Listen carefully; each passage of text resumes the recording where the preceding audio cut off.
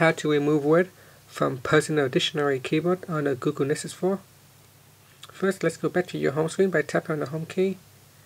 Then go to settings. Here, scroll down and tap on language and input. Next, tap on Personal Dictionary. Then tap on the word that you want to remove. Then at the top, tap on the bin icon. And that word will be immediately removed from your personal dictionary. Tap on the home key to finish. Thank you for watching this video. Please subscribe to my channel for more video tutorials.